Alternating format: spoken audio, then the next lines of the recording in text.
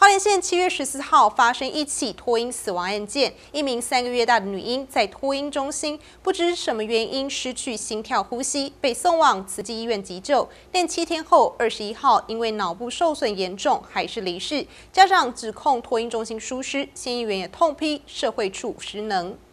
十四号发生了一起女婴窒息案件，家长当时获得通知，孩子没了呼吸心跳，但监视器画面却被一颗瑜伽球挡住，只听到女婴哭闹二十分钟，没人理会。令家长痛心的是，孩子送医急救后，虽一度恢复心跳，但要了解到底身体与大脑受损多么严重，却无法得知，全程也找不到相关单位协助。县议员痛批县政府社会处根本失能。孩子最后在七月二十一号拔管离世，造成了花莲近十年来以来第一起托婴中心造成的婴儿死亡的揪心悲剧。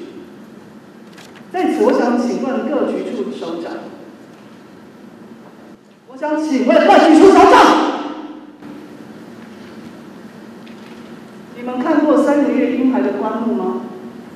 这个事件发生之前，你们有做什么努力吗？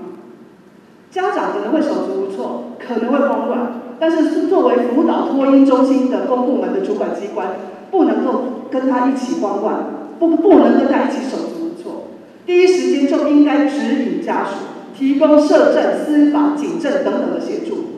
我要再次跟陈处长强调指引这件事情的重要。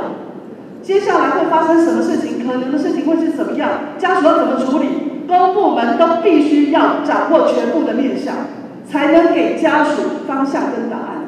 证据保存的影像取得是一波多折，法律咨询缓不济急，警政报案家长要自行摸索，医院处理难以判读的时候没有人协助，每一项都要家长自己 Google。县政府社会处回应，事件发生后有派员前往介入与调查，但此案已进入司法调查阶段，相关调查细节还无法对外公布。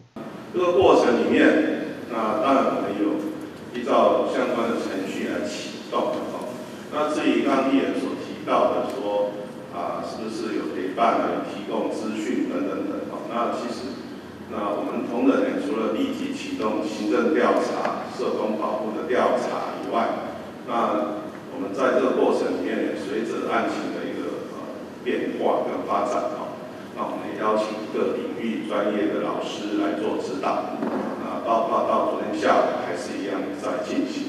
议员也质疑，外县市都会依照卫福部制定的托婴突发与处理流程，为何独独花莲县不遵循规范？也与此案为花莲近十年来第一起托婴死亡事件，要求县政府制定托婴中心面对危机及突发事件的处理流程。记者林杰花莲市采访报道。